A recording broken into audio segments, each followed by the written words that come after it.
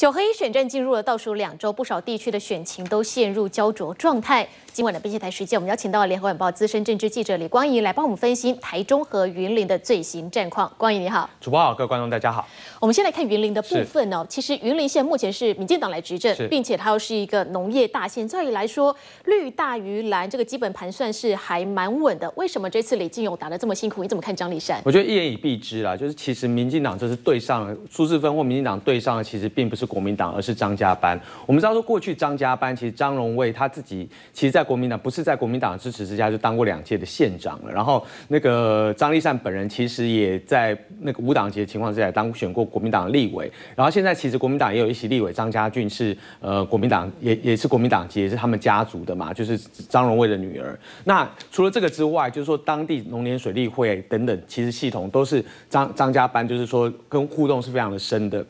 那我自己到那边去看看过一次，我觉得说，其实看了这么多地方，其实在野党跟执政党其实分野是很明显的。但是那个云林是我唯一一个，就是说他是在野的情况之下，但他的声势，他到每个地方去的那个状况，简直就是有那种就是执政者的那种气势的。对，大概就是只有云林的张立善是这样的感觉。我认为张家班的算计当然是非常非常非呃非常仔细的，因为四年前我们知道本来是提名张立善，但是后来他们认为说。